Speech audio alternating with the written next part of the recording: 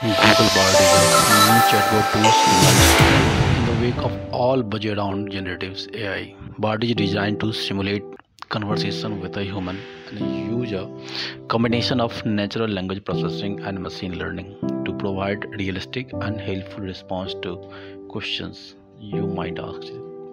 In the theory, Bard may one day be integrated with website, message platforms, applications on desktop and mobile and a range of digital systems. Google's rollout has been troubleshoot from the get-go, get to go, but it is slowly opening by access to more and more people. Google has slowly been rolling out to access to Bard to people in the UK and US, currently allowing people to join the Bard Google Bard waitlist at bard.google.com. We had a chance to test out Google Bard ourselves its impressive service even.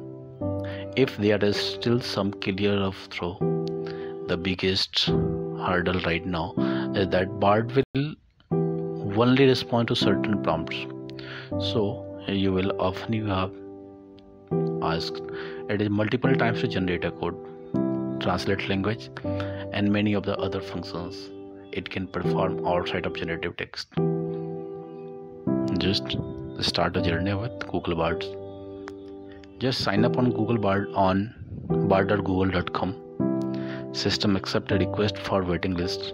If you had access from US or UK, then this button shown otherwise shown currently this feature not available or supported in your country.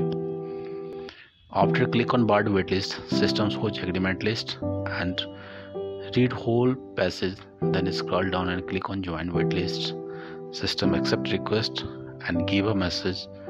You have added a waitlist and send a confirmation mail as shown here. After some time we receive confirmation mail from google's as a start journey on bard now i have checked all cases as a current covid reported or coordinator programs. All text shown in slow mode but for cross-check, COVID report shared as update report as 2023. Development work has continued on Bard side, but if you want a better and current result without limitations, then you may use Google Bard. This is a current and next feature of program.